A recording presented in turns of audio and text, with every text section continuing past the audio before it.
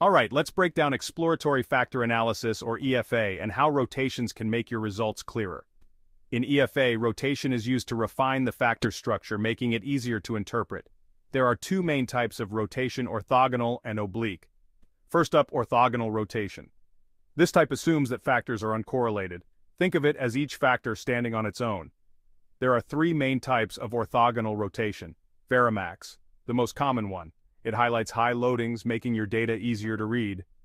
Quartimax, focuses on simplifying variables, maximizing the variance of squared loadings across factors. Equimax, a blend of Varimax and Quartimax, balancing simplicity between factors and variables. Now, let's switch gears to oblique rotation. Unlike orthogonal, oblique rotation allows factors to be correlated. This can be more realistic for many datasets. The main types are Promax starts with Varimax, then lets the factors correlate.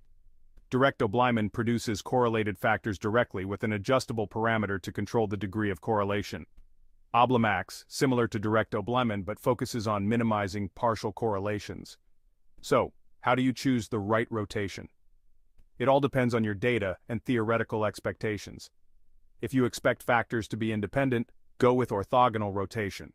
But if you believe factors might be related, oblique rotation is your best bet.